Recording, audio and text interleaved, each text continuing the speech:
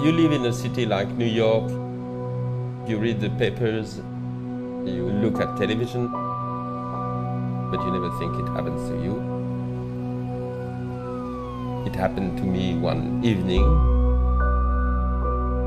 I was attacked. It was very, very fast, drastic. By the morning, I was totally blind.